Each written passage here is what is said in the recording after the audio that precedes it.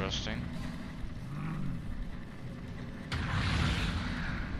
Go, go, go. I think he has him.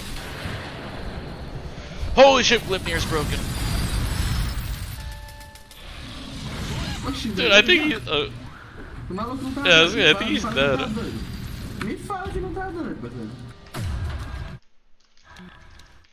parceiro. Oxi, o que que é nele? Se sentar, ele tá uh, I do not. Wraith King's a stupid hero.